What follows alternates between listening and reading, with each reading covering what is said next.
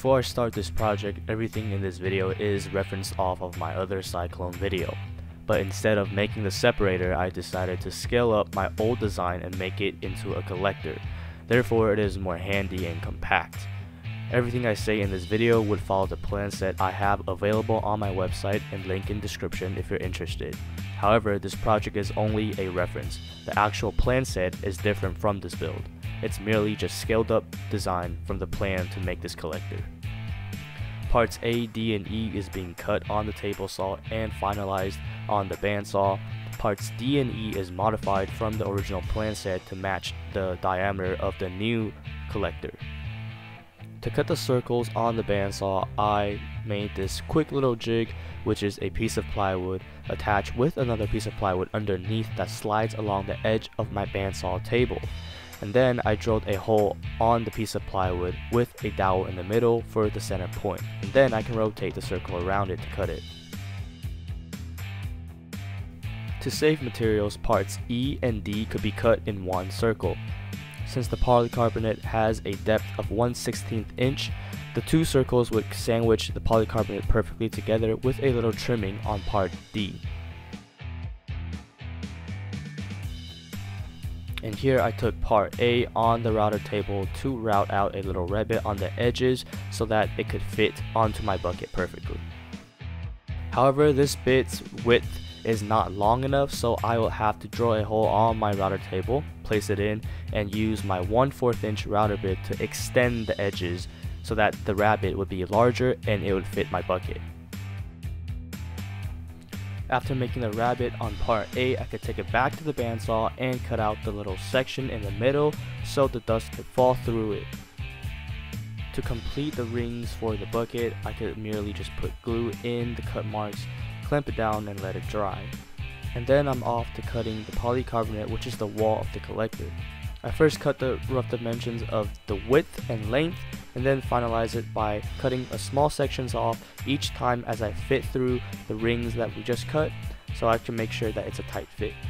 And as you put the polycarbonate into the rings for a test fit, make sure that you hear a click before moving on to other procedures. And here I'm just finalizing part D by trimming a little bit off on my router table. Make sure you don't cut off too much material on the first pass or you'll have to cut a new circle. After that I could cut part F on the table saw, finalizing the dimensions and cutting the cove by sliding it across the blade.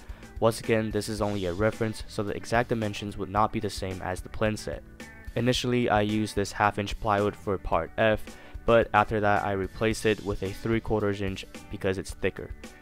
I marked two lines along the edges of the polycarbonate marked with equal spacing and pre-drilled the holes. I then put the polycarbonate back into the rings, transfer the screw hole locations by drilling it into the plywood, and then secure it with screws.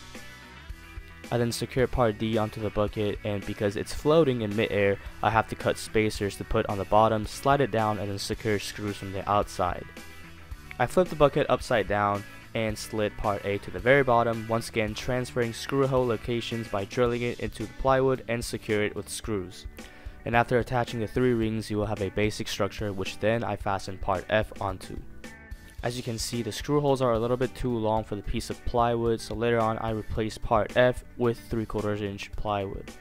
Well after that the bucket is basically all complete and now I will have to make the inlet port which is part H and I cut these parts on the table saw with a combination of my table saw sled. And I simply glue these pieces together, clamp it down and wait for it to dry. And while the glue is drying I can mark the location of the two points that the arc would connect.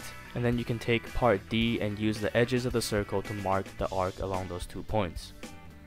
Then I cut the arc on the bandsaw, making sure that it is close to the line but not directly on it, so then I could finalize it and fine tune it on the spindle sander. After the inlet box is complete, I could slide the inlet pipe into the box as a guide to cut the curve. To fasten the inlet pipe and the box, I first clamp it down to the bucket itself. Then I can use my phone's flashlight to shine a light through the inlet pipe and mark its location inside the bucket. Then I can trim the pipe on the table saw. And be sure to lower your blade after you're done cutting. And then I can use my multi-tool to cut the inlet hole onto the bucket. Since I don't have a Dremel, I have to use my file and hand grind it down until the inlet hole and the pipe is flushed together. And so far basically we have every single material prepared. Now it's the assembly. Since I already have a circle roughly the size that would go in the inlet pipe, I wouldn't want to cut it again. So I taped this little circle with some painter's tape to buff the size. This is the part that will go on part G and the inlet pipe. I cut the inlet pipe to its final size on the table saw and I hot glue it onto a piece of lumber for stability so I could knock out a notch on the table saw safely. I first cut the start of the notch and the end of the notch and then I can work in the middle to remove all the material. To mark the pipe diameter onto part D, I used a drill bit to align the center holes of part D in the small circle, placed over the pipe and drew out the circumference of the pipe onto part D. I then cut out part G on the bandsaw using the leftover scrap from cutting part A. I glued a small disc onto part G using wood glue and align it with the center using the drill bit. I took apart the whole assembly to take out part D and used my jigsaw to cut the circle that I marked earlier. Once again, cut close to the line but not exactly on the line so we could fine tune it on the spindle sander for an exact fit of the pipe. I used hot glue to attach the pipe to the little disc and part G, however you could also use epoxy, but for time purposes I used hot glue. The top of the pipe can then be attached to part D. And now it's time to disassemble the bucket itself. The inlet pipe of the bucket needs to be filled, so what I did for that is I cut out a little polycarbonate piece and I used bolts to secure it in place. Now that everything has been set up, I can finally remove the protective wrap on the polycarbonate and reassemble everything. However, I did not put any finish on the wooden materials because it's a shop project and I don't feel like it.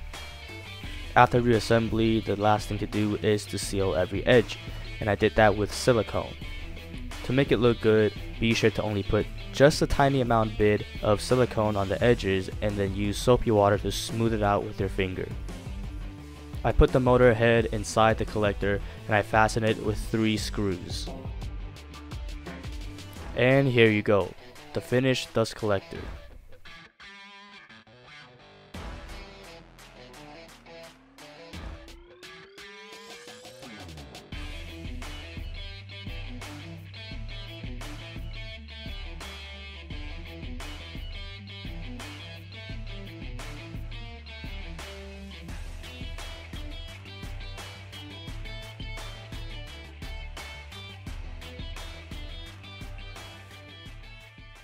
Well, this is it. This is the dust cyclone collector. Instead of separating with two buckets, the vacuum and the actual collector, this is a combined version of it.